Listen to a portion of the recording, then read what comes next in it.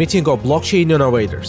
Istanbul will host the Blockchain New Era Conference in 26 November 2017. The conference will be conducted by Boğaziçi University, one of the prestigious universities of Turkey. The conference will include blockchain, cryptocurrency, ICOs, and latest developments and chains in the crypto world. Among the speakers are leaders of blockchain and crypto industry in Turkey, Ufuk Tarhan, economist and business analyst, Levent Kurt, editor at Coin Turk, Kadir Kurtuluş, lawyer and co-founder of blockchain startup CopyRobo, and others course.